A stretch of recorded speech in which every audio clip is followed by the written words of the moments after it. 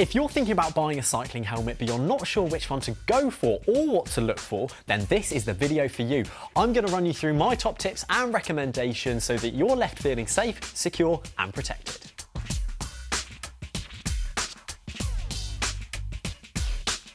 There are many styles of helmet available, but generally they tend to boil down to road, commuter and leisure models. Now, road helmets tend to be lighter and have a lot of ventilation and they're made for people that want to go as fast as possible on the road while staying as cool as possible.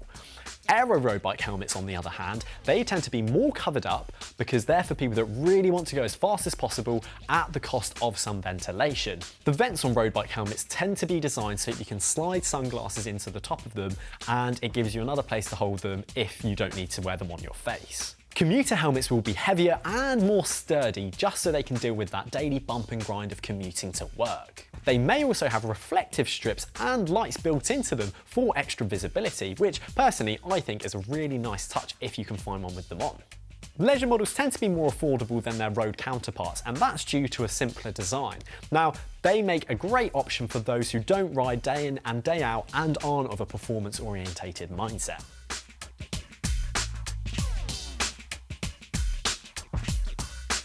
Nearly every helmet will have some sort of retention system, and this is to help you dial in the fit and the size. Now, in many cases, this is going to be in the form of a cradle that sits on the inside and is adjustable with this little wheel. Now, on higher end models, you can actually move the cradle up and down depending on how big your head is.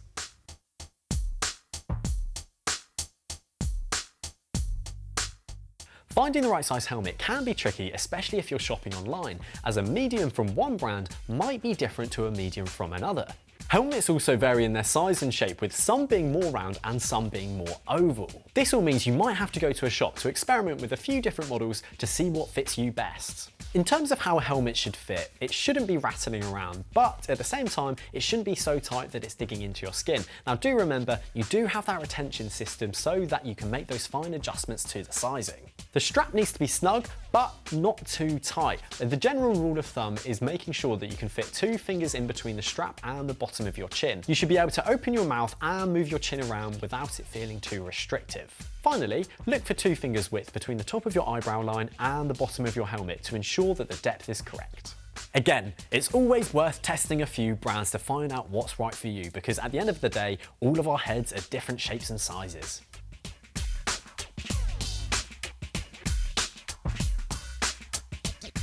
If you're buying a helmet from a reputable shop, then all of those helmets will be meeting a minimum safety standard. So you can be confident that whatever you're buying will protect you. However, higher end models may include some extra safety features. A prime example of this is MIPS, otherwise known as Multi-Directional Impact Protection System.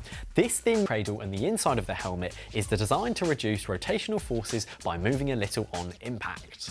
As I've already mentioned, some road and commuter models may feature built-in reflective strips and LED lighting, which will increase your visibility to other road users.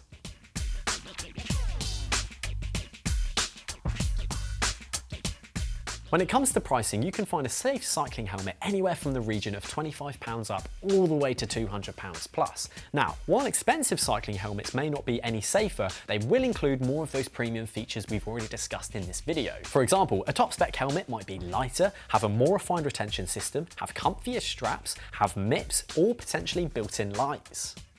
So hopefully you've got all the knowledge you need now to go out and buy your next cycling helmet. If you've got any questions, just drop them down in the comments. If you enjoyed the video, drop it a like, subscribe to the channel for more content, and I'll see you again very soon.